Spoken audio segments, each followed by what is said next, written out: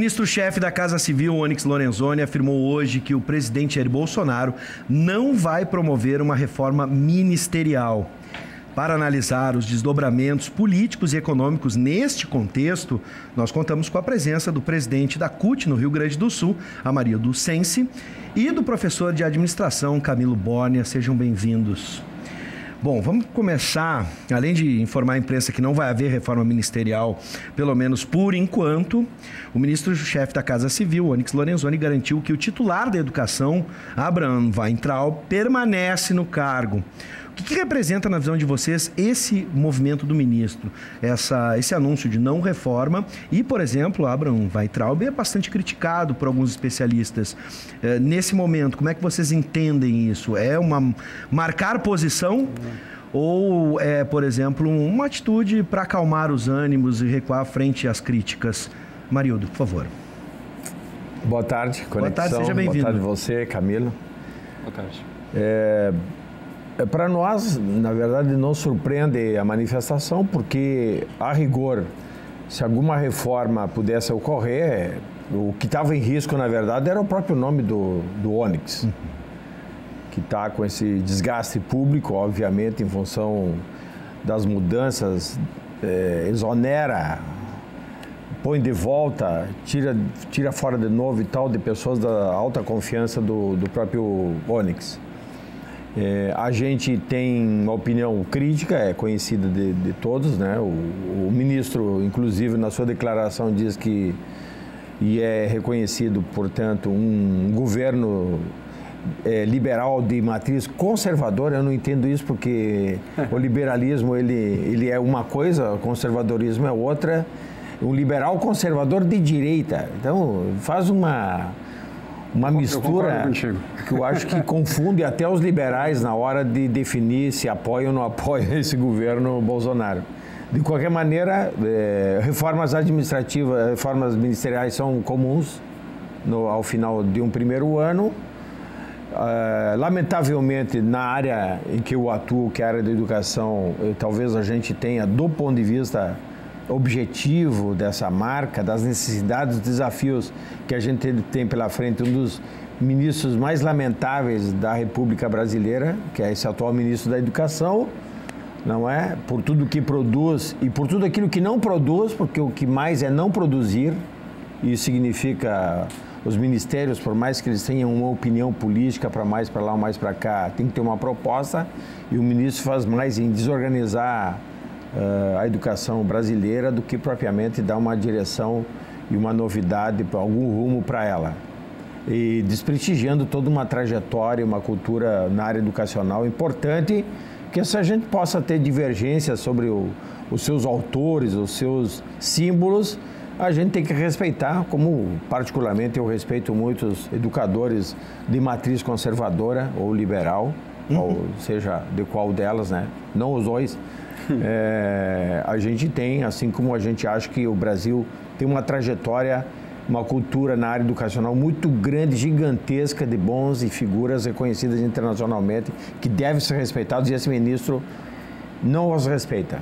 Bom, peguei esse gancho do ministro, aqui também temos um professor, também está na área da educação.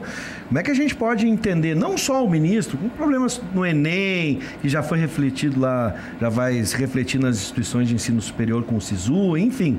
Uh, outros ministros também, Damares, que entra em pautas muito mais ligadas ao conservadorismo. Ah.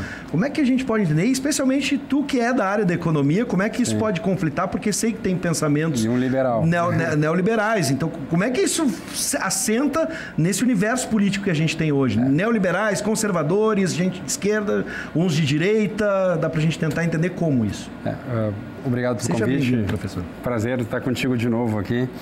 Mas, assim, o, o, governo Bolsonaro, ele se elegeu com uma pauta liberal na economia, conservadora nos costumes, e, ao meu ver, ele tem uma, uma...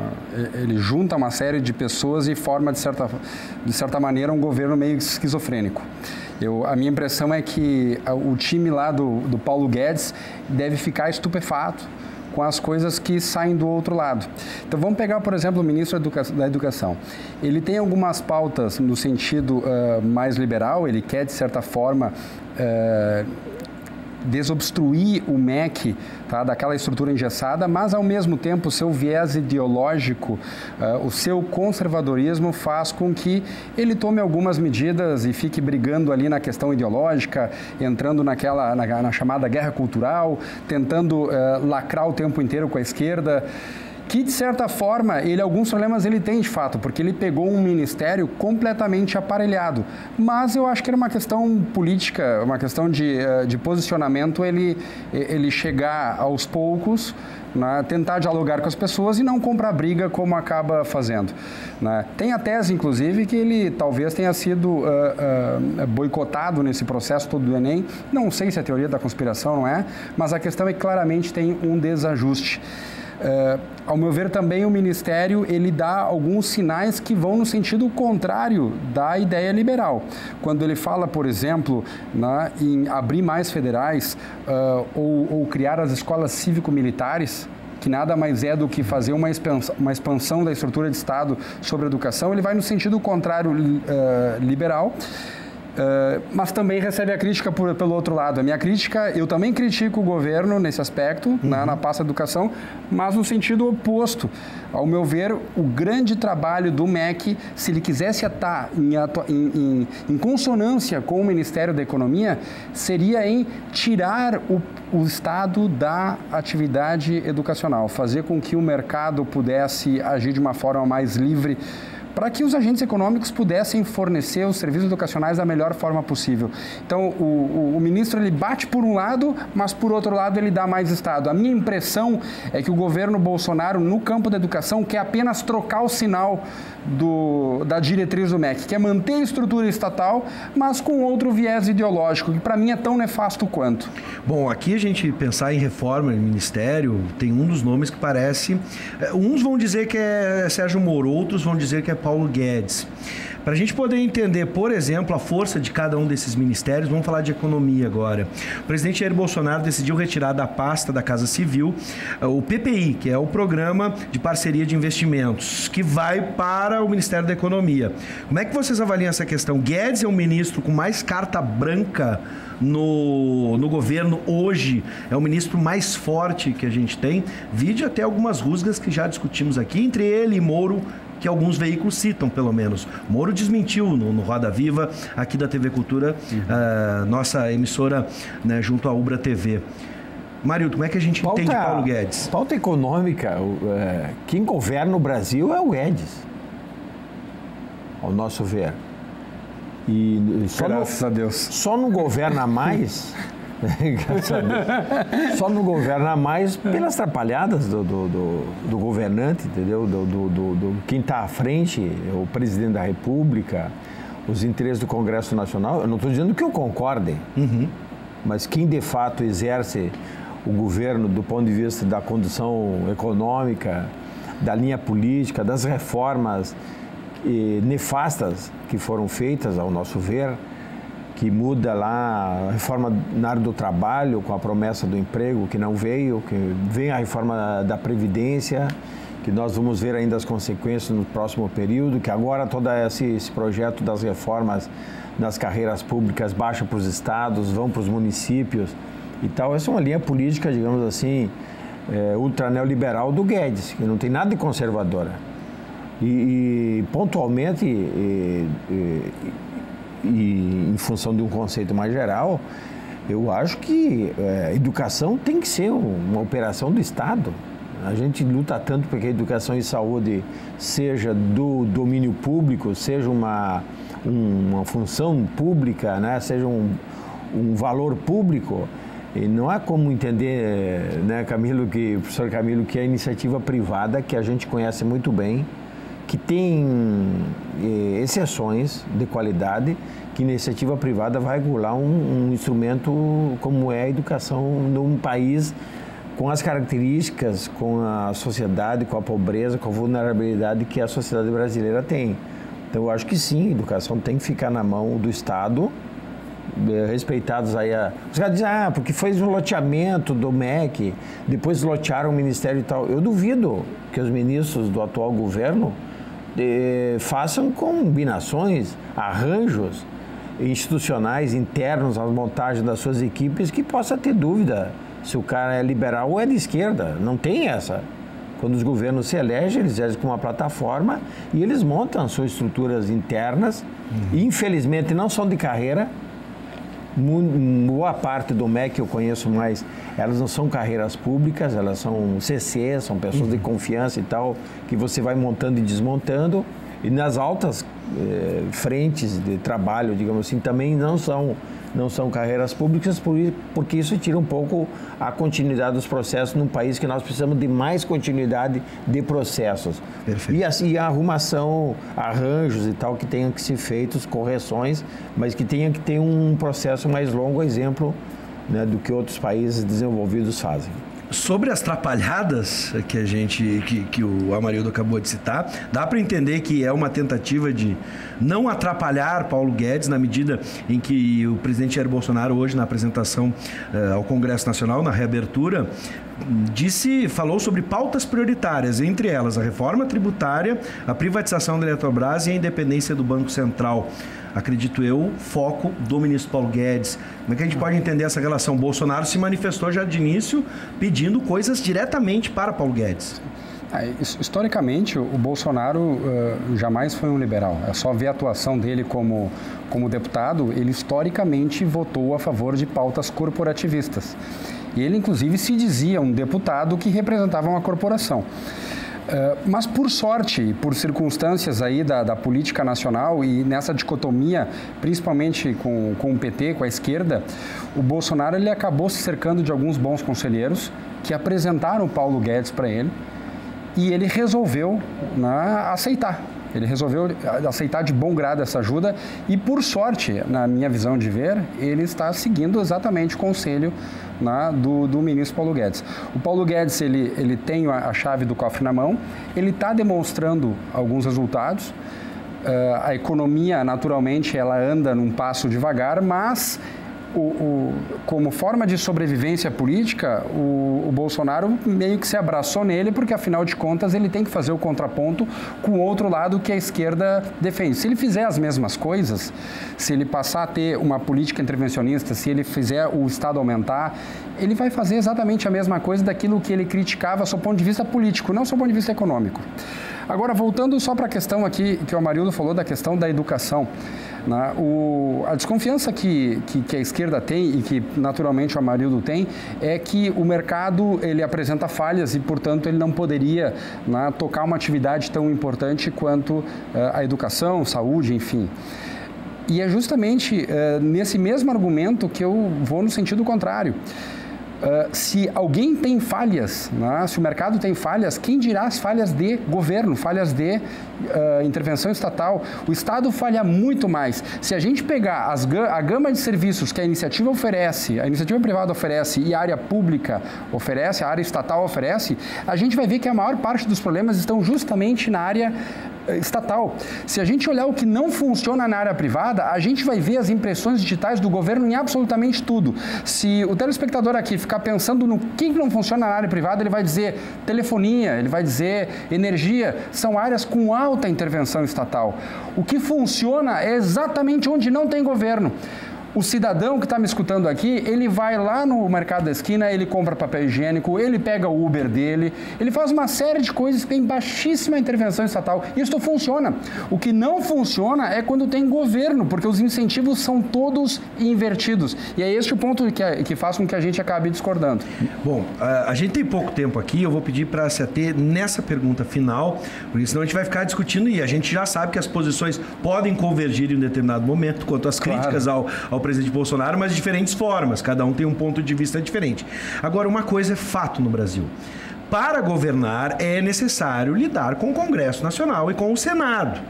Na abertura hoje, o presidente já chamou em cartas ou pautas prioritárias. Na visão de vocês, o Congresso vai seguir alinhado de alguma forma com a agenda, com a agenda econômica? Se essas são as pautas prioritárias para esse início de ano, e a gente já viu que são todas direcionadas à economia, Como é que vocês acreditam que vai ser essa relação? Por exemplo, na área da educação, a gente já sabe que Rodrigo Maia não concorda, não aprova, por exemplo, o ministro da Educação. Mas já na área da economia houve uma negociação produtiva, produziu algo. Não estou dizendo que é positivo ou negativo. Uhum. Como é que vocês esperam para esse ano essa negociação com o Congresso Nacional? Mario. Primeiro dizer que a intervenção estatal e a presença do Estado brasileiro na educação, educação superior, ela é o que mais gera concorrência das, dos setores médios e das elites brasileiras, que preferem as federais, as instituições federais, do que as privadas. Por que não pagam? Ali é um exemplo claro do nível né, do, do, que o setor privado oferece na educação superior. Eu falo de cadeira porque sou um sindicalista do setor privado que, grosso modo, Brasil afora, não tem um bom serviço prestado para a sociedade brasileira. A questão do Congresso. Nós estamos no ano eleitoral. Esse é um ano de eleições municipais. As, as eleições municipais, grosso modo, pautam uh, 2022, porque atrás das eleições municipais tem os vereadores, os prefeitos, que também são espécie de cabos eleitorais de mandatos, mandatos federais. Eu não, eu não creio que vá se pautar uma reforma tributária nesse período tão curto até as eleições. Até porque, se ela viesse, ela não viria para corrigir essa inversão tributária que a gente vive, que é, ela é inversa ao que nós defendemos, que deveria ser progressiva é, pegando mais quem não rentabiliza, quem não, não, não investe no, no, setor produtivo e impondo aos consumidores uma carga tributária existente e tal. Não acho que vá se mudar essa matriz. Acho sim que virá um pacote de medidas ainda em relação a possível mini reformas administrativas que possa ser feita nas estruturas e tal, considerando que em ano eleitoral as coisas não funcionam no Congresso Nacional.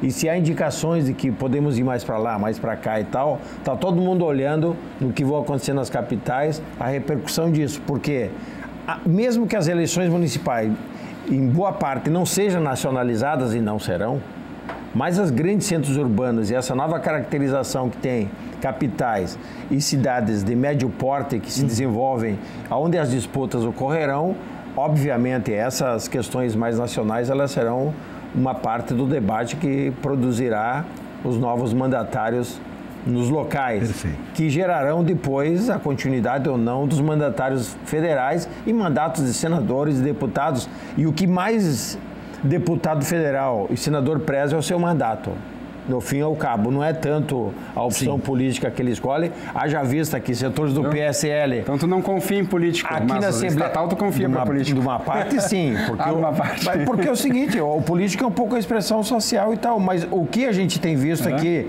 o fracionamento partidário nacional, ele, ele, ele tira essa estrutura mais de uma disputa até ideológica, política do processo e foi só ver a votação aqui da reforma aqui dos servidores públicos estaduais, que setores ditos de direita, conservadores, uhum. neoliberais até, ou de estruturas mais conservadoras, foram contra foram contra por achar mas, que não deveriam mas, assim, é, ser feitas. Eu faço uma leitura um pouco diferente. Eu acho que o governo vai fazer um esforço, sim, de fazer as reformas uhum. e ela vai ter, de certa forma, uma adesão, porque os estados estão quebrados, tem município que está mal das pernas e a gente chegou num limite que não dá mais. A gente precisa fazer reforma estrutural. Então, acho que o governo vai tentar aí usar o seu rolo compressor e vai fazer com que algumas reformas passem. Assim como conseguiu fazer a reforma da Previdência, mesmo com algumas, alguns cortes, ela acabou sendo feita. Assim como o Eduardo Leite acabou fazendo aqui a reforma, porque não tem mais para onde ir. Agora, a reforma tributária, o senhor é um extremamente um conhecido crítico do nossa, nosso sistema tributário. Claro. Dá para imaginar, porque isso a gente está falando de receita, por exemplo, para o governo.